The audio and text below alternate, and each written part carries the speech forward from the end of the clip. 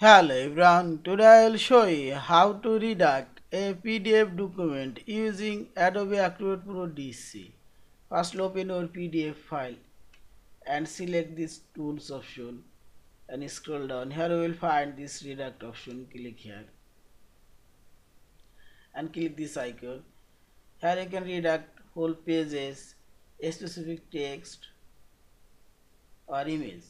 First I will redact text and image and select your text and select this red color is black now I'll select here this properties option. I'll change this red color white. Now click OK. And select. And select this preview this red color white.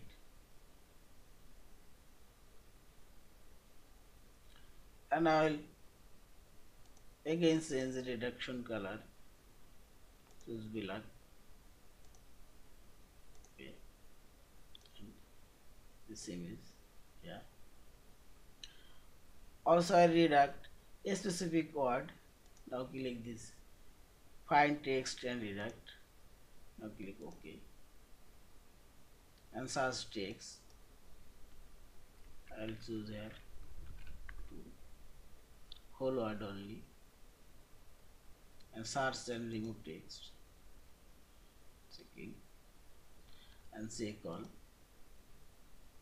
and mark checked result for redaction already finding all of this word yeah yeah. Also I redact page specific page only second page and the lookout yeah, this is now click apply. Click ok and save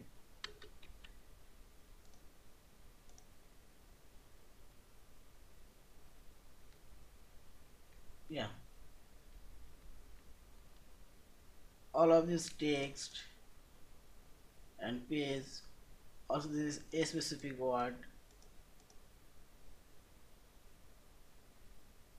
yeah this is and finally click this file option save or save as pdf file.